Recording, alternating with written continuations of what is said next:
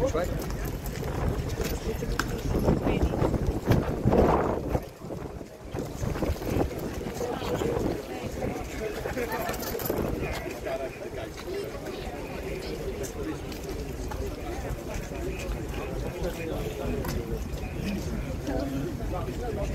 To jest aparat, który Antek dostał ode mnie od nas rok temu na urodziny i dopiero tydzień temu go tam